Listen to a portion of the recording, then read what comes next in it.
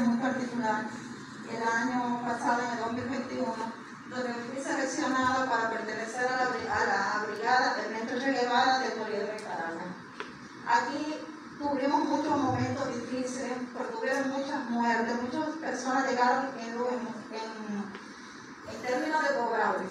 Entonces, también, aparte de tener muchos decesos, también tuvimos muchos recuperados graves.